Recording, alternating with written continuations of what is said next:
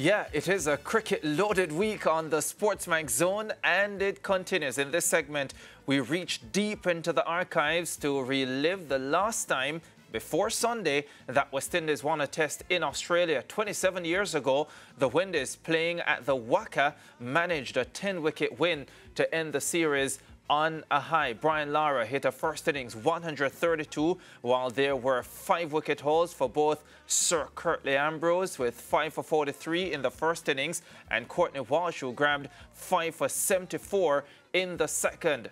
Fazeer Mohammed, who celebrated his 10th year as a cricket commentator when the Windies last won a test in Australia before the weekend, of course, joins us on our trip down memory lane. Of course, that 1996-97 series ending 3-2 in favour of Australia. Australia winning games 1, 2 and 4. West Indies winning games 3 and 5.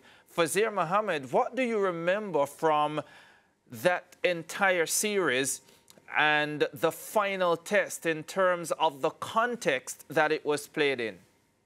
You're right, Ricardo. Very different context because then the West Indies were the just beginning to decline kings because it was a five test series.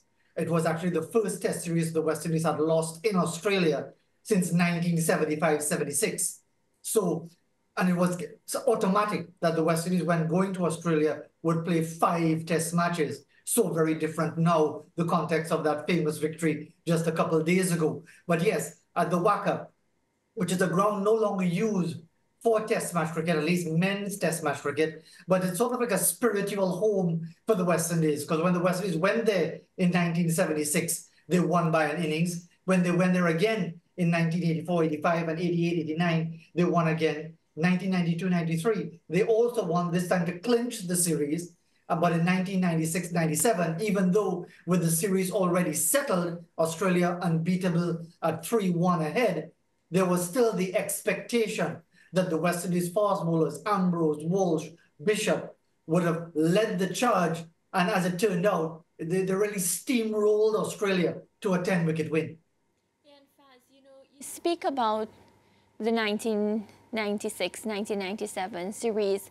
Can you give us a bit of the storylines that would have been leading up to that match? Because I remember, of course, I was not around, but um, I read, well, I was I was born, but not functional. Let me just say that. I was like a little kid, right? Because Ricardo's already laughing when I say I was not around. I was a kid.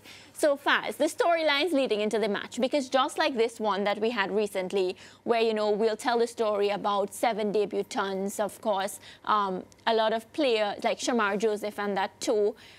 I remember watching a documentary and Curtly Ambrose, I think, had an injury so maybe you can tell us a bit about the storylines leading into that. Yes, he picked up that injury during the Tri Nation series. Now, again, that was an era when the visiting team would play five test matches interspersed with a Tri Nation limited over series. You'd play a test match, maybe two back to back, then you'd play about four or five one day internationals, and it was a triangular series. This time around, Pakistan were the other uh, visitors to Australia for that 90s, 96, 97 campaign. Yeah. And it was a situation where the West Indies and Pakistan played the best of three final. Australia didn't make it to the final. But the cost for the West Indies was an injury to Curtly Ambrose in the decisive uh, third and final match. Sorry, the second match, because Pakistan won two in a row. The second match, uh, and he got an injury in Melbourne. And because of that, it ruled him out of the subsequent test match in Adelaide, and that was a major setback for the West Indies. The concern then was, is it going to be a situation where Ambi would also miss the final test match? Turned out that he was fit enough because every fast bowler wants to be fit, Mariah, for the WACA. Yeah. The WACA is a fast bowler's paradise. Because, I, again, just to give it some context, one of the other talking points was huge cracks appearing on the pitch even on day one yeah. because it was a bit of a, a heat wave going through that part of Australia, Western Australia.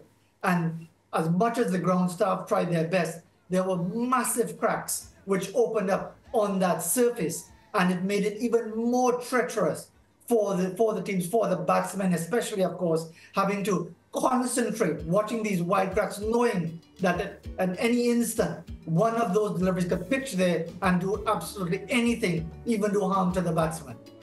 Right, and the beauty of Brian Lara's century, because in the same documentary that I was watching, I remember somebody talking about like a lot of chatter and banter on the field between the Aussies and the West Indians, and I think that added to the beauty of the match. But talk to me about that century. Well, Brian Lara, at the start of the series, remember he had already had that phenomenal year of 1994 world record 375, world first class record 501 not out, a lot of centuries in a row uh, at the start of his England, England county career with Warwickshire. But in 1995, he didn't have the series that many had hoped for. The West Indies surrendered the Frank Worrell Trophy, losing that series in the Caribbean uh, by two matches to one, famously losing by an innings at Sabina Park in Kingston, Jamaica. Then came 1996-97 with Lara as vice captain to Courtney Walsh. And Lara really struggled against Glenn McGrath. He struggled so badly in the first uh, couple of test matches that he surrendered the number three position to Shivnarine Chanderpaul. Chanderpaul took on that challenge and really played with, with, with great gusto in many ways. But still, the talk was would this series finish without Brian Lara getting a test 100? Well, as it turned out, at the WACA at the fastest pitch against some, some quality bowling. He was finally able to get on top of the Australian bowling, the fast bowlers, McGrath, Gillespie, and of course the outstanding spinner, uh, Shane Warne, to get to that 100. Yeah, and as you speak there, Faz, we see the huge cracks on the on the on the pitch there as Brian Lara faced up with his majestic batting. Um, can you talk to us briefly, Faz, about the coverage? Because cricket coverage now is much different from what it was then. And uh, certainly radio coverage was huge during that period, not so much now. Um, Reds Pereira, the late Tony Cozier, yourself would have been a part of that period of coverage, and Australia tours were tours that, as commentators, you had looked forward to. Absolutely. Well, that was my first tour, and that fulfilled a dream for me because I, I, wanted to fulfill two dreams in life. One, spiritually, making the pilgrimage to Mecca and Medina in Saudi Arabia. I did that. And to go to Australia, not just to Australia, but to the WACA for a test match. Because I remember 75 76, Floyd Fredericks 169, Clive Lloyd 149, and Roberts, seven wickets in the second innings, West Indies winning by an innings on in four days. And I was I was entranced by it, and I always wanted to fulfill that dream, which thank, thank God I did. Uh, but yeah, the, the, the, coverage was Channel 9 because they were they were the, the dominant television medium at the time in Australia. Radio, you had, of course, Tony Cozier, Reds Pereira. I would have been not, not considered good enough at that time to be part of the radio commentary team because who could be better than Cozier and Pereira in, in, in that sense? Well, you, you, you, you, you did some work for us at the Caribbean News Agency, didn't you, on that tour? For which I was eternally grateful because it helped, yeah, it helped pinch away some of the massive debt I earned uh, from, from that campaign. And, I, I, and indeed, the support of CANA Radio, as it was at, at, at the time, was significant because it allowed me to get that opportunity. But more importantly, rather than being preoccupied with myself, it, it really was a series where many people were saying, look, maybe the, the West Indies are coming up to, towards the end of that great era, but maybe the Frank Worrell Trophy carries greater status than the Ashes. I, I, remember Mike Coward even having that discussion with him, the noted Australian journalist and broadcaster, saying that, you know, yes, there's all this automatic preoccupation with the Ashes, but the interest in Australia beating the West Indies with Mark Taylor as captain in the Caribbean in 1995 and defending it successfully in Australia in 1996 97 it, it, was it was dominated. Everything about that series, should Walsh have been captain, was Lara the really the, the, the leader in waiting. There were there were so many subplots and stories that kept the media at all levels before the age of social media and the full growth of the internet. They were really preoccupied and obsessed with what was going on. Yeah, Faz, and I was just going there because um, Walsh had been captain for the series, but he would be replaced as the captain soon after that by the Prince. Indeed, and, and, and again, just take, taking it a bit further, because Walsh remained captain for another year he went to Pakistan in 1997, and the West Indies lost all three test matches, two by an innings, one by 10 wickets. Lara's best score was probably about 37. And there was a lot of feeling at that time, a lot of ill feeling when we talk about Jamaica, Trinidad and Tobago, and the insularity, that there was something going on there. There was a famous occasion when Trinidad and Tobago were playing Jamaica in a 50 over a side match in Jamaica. And at the time, comments were being made and things were being said on behalf of both parties. And it resulted in the toss being taken with Walsh opting not to take the field for the toss. But then we saw famously, uh, Courtney Walsh showing what a magnanimous individual he was. After Lara replaced him as captain in 1998, the year after, after the debacle of the South African tour, coming onto the field at Sabina Park to a hail of boos from everyone in the ground, Walsh put his arm over the shoulder of Lara to send a message that, look, we may all be disappointed that I'm not captain anymore, but this is my captain. So he was man enough, big enough to put aside whatever individual disappointments for the sake of West Indies cricket. Yeah, and following 1996 1997 Faz up to the 1999 2000 tour of New Zealand, the West Indies were still ranked in the top three in the world in Test cricket. In fact, up to that New Zealand tour in the number three position, and that's despite the loss to Pakistan that you spoke about, the debacle in South Africa of that 5 0 defeat. I want to get a clearer understanding though, about coming out of that 1996-97 series against Australia, what the general feeling was about the trajectory of West Indies cricket. It's an interesting one because famously Wes Hall, the manager at the time, referred to the Sabina Park defeat to Australia in 1995 as an aberration. Mm. It was, of course, because at that time West Indies were dominant. Yes. They'd gone 15 years without losing a series. But there seemed to be a refusal a steadfast refusal to accept that the, that decline was happening, not just because of 1995, but even before. The West Indies escaped against Pakistan in 1988, one all, when it could possibly have been 3 0 for Pakistan.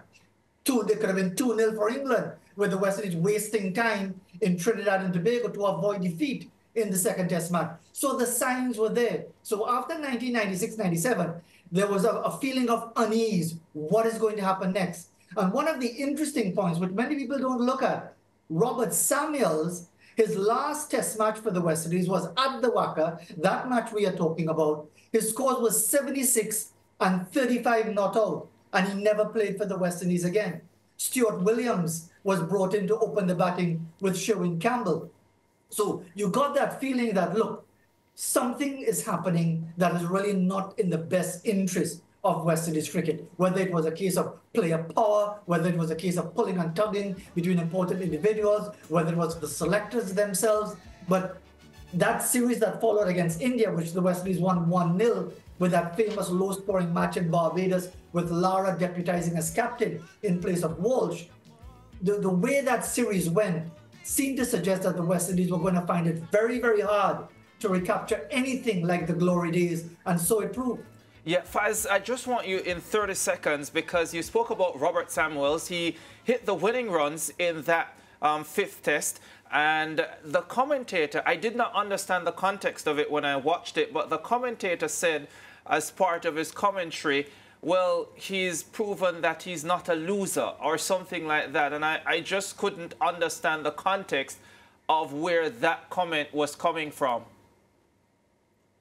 Around that time, the, the, the discussion was about uh, Robert Samuels, is he the, the right man for the job? Because you had Adrian Griffith, Sherwin Campbell, Robert Samuels. There seemed to be a reluctance, even in the West Indies camp, to identify him as having that personality because Robert is that laid back, sort of easygoing person. When you watch him, his movements on the field very languid and so on. So, it, for whatever reason, it just didn't seem to strike a responsive chord with the decision makers in West Indies cricket. And again, notwithstanding his contribution in that final test, when he was at last given an opportunity to open the batting, he didn't play again for the West Indies. So, so yeah, you know, you you would hear lots of comments about is he really the, the man with the right stuff to open the batting for the West Indies? But unfortunately, he was never given another chance. Yeah, very much. And West Indies kept changing openers, as you pointed out. Adrian Griffith, Stuart Williams. Then came the likes of Wavell Hinds and Chris Gayle. And yeah, the list goes on. Faz, it's been a pleasure as usual chatting with you. Who knew that that fifth test victory in 1997 would be the last for the West Indies in Australia for 27 years and that it would take a 24-year-old who had not who had played limited first-class cricket to bowl the West Indies to victory down under. Faz, it's been a pleasure. We'll chat again soon. Take care. Indeed. Thanks for reminding me of how old I am.